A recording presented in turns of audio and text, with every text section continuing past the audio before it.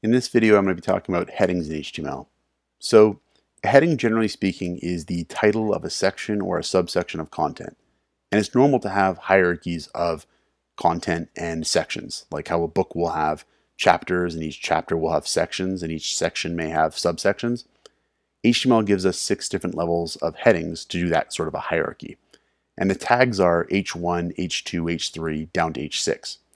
So we'll do an H1 tag first. We'll say open H1 tag. We'll say my art website, close the H1 tag, do a refresh, and now we've got this title of our website here with the H1 heading.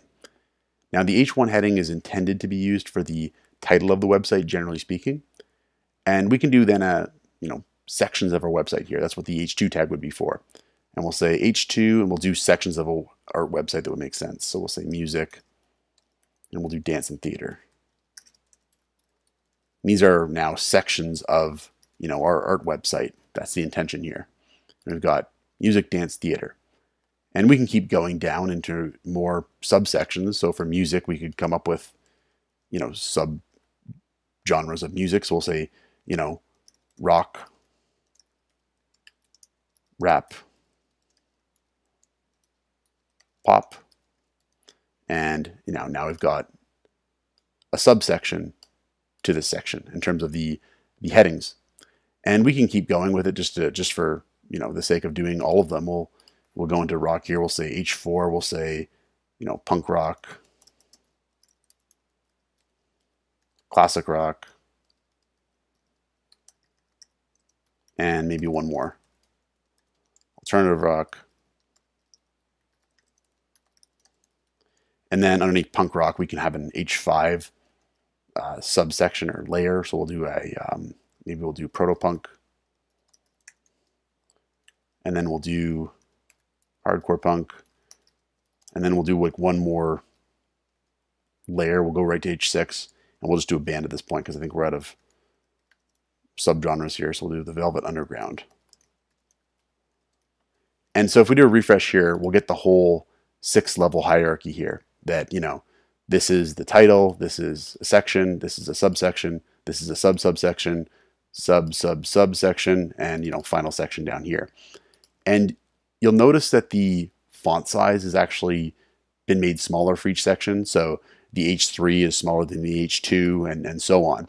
And it might be tempting to think that that's actually what these tags are for. You don't want to use them in that way though. You'd want to use CSS to style the headings in whichever size you like. Um, the tags are actually for defining document structure. So the intention with them is that you actually use the H2 tags for sections and you use the H3 for subsections of those sections. And one of the reasons why you do that is for the, the website reader, obviously, to see that, you know, this is a subsection of this. But one of the other reasons why it's important is that programs like Google will read your website and when they read your website, one of the things they're looking at is the content of your headings. And when they see music, rock, punk rock, they use that to put together and analyze what your website is about. And so for that reason, you want to stick to the intended usage of the tags. Uh, also for that reason, it's generally a good idea to use only one H1 tag for the actual title of your website. And it's also generally speaking a bad idea to say skip a, a level or a layer in your hierarchy of sections. So if we just sort of didn't have this H3 layer here, we just didn't have H3 tags, and we, were, we went right from H2 to H4, we'd be skipping a layer there, and we wouldn't be using it as it's intended. And that's generally speaking considered a bad practice. And that's the essentials of headings in HTML. Check out portfoliocourses.com, where we'll help you build a portfolio that will impress employers.